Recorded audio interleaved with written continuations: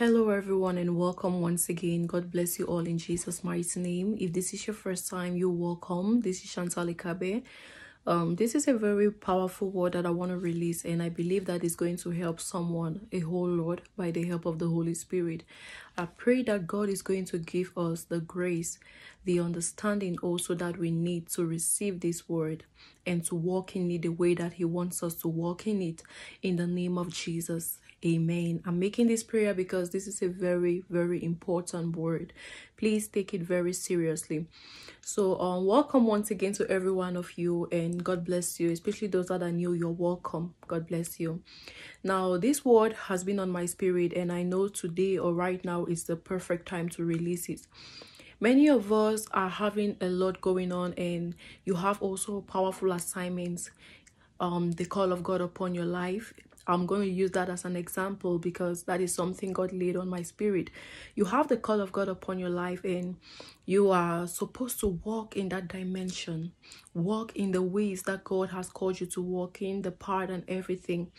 But then you find yourself treading on a part, and that part seems very lonely. It's like you are all by yourself, and some of us we are on the lonely part not because we want to be there, but because we don't have someone to assist us to help us to share that that you know that that burden also. Some of us there's a burden in our heart a good one of course that people will have burdens to serve the lord a heavy burden just to pray worship fellowship uh, meditate on the word. So that burden someone to share hallelujah someone to to share that that powerful desire that burden that god has placed on the inside of you.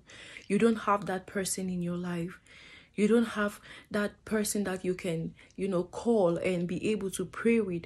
You don't have that person you can fellowship with. And you are doing the work of god.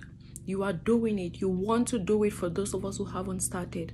Now this is for you. This is your word. And for others you are actually going through a situation and you're trusting god to come out of it you're in a warfare situation and you want to come out of that warfare you've been praying on your own you've been battling on your own but things haven't changed yet things haven't changed yet. Hallelujah. For others, you're still preparing to start a project that God has laid on your heart to start. This is a word for you today. The Lord is saying, no matter how tempting it is, don't do it alone. God says, don't do it alone. You cannot do it alone. Number one, you need the help of the Holy Spirit. Don't do it alone. Don't go alone. Don't start alone. If you don't trust anyone around you enough to walk with, walk with the Holy Spirit. Hallelujah. That is why He's there with you. We have the Holy Spirit, but we don't get to walk with Him most of the times. God has been reminding me of this. He said, Many of us have received the Holy Spirit, but we walk alone. We walk like the Spirit is not living on the inside of us. So, number one, walk with the Holy Spirit. Number two, if you can get help from a trusted person to help you with that burden, to help you with that warfare, to help you with that battle, get the help. Get the help. Get the person. Get someone. Get a prayer partner. Get a prayer partner. Hallelujah. Walk with someone. Two will always be better than one. One will chase a thousand, two will chase ten thousand. That is really powerful. In the Bible, you see people walking together. You see people walking together in order to overcome a common enemy. Hallelujah. If God raised a king in the Bible, you see him also raising a priest. Or if a priest is in the Bible, the priest is there to give the king divine direction. There was Ruth and the mother in law as well, Naomi. There was Esther, who worked with the uncle Mordecai. These people worked together. Joshua, Moses, hallelujah, Elijah and Elisha. God says, get someone that you can trust to help you with it.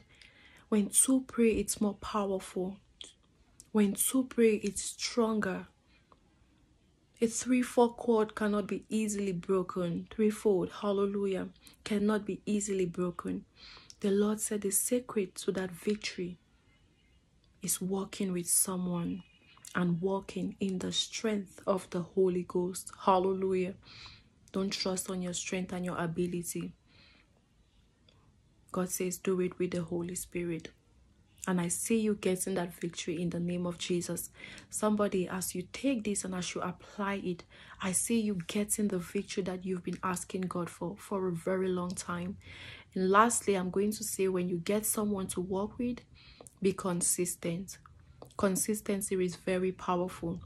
You can set a day of prayer. Make sure that you always show up at that particular hour to pray with that person is very, very important and powerful. So be consistent. It's really to help work out things. Hallelujah. Thank you very much for listening. I really appreciate you. Thank you. God bless you. If this was a blessing to you, please go on and subscribe, like the video, and share as well. Thank you for doing that. I hope to see you shortly by the special grace of God.